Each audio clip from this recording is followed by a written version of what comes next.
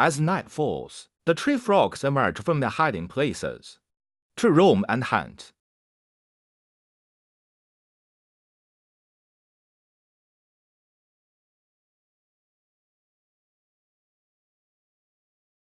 They are usually active at night, so it's challenging to capture footage of them hunting.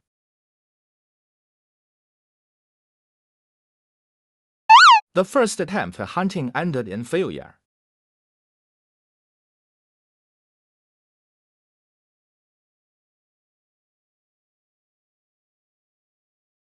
The second attempt ended in failure.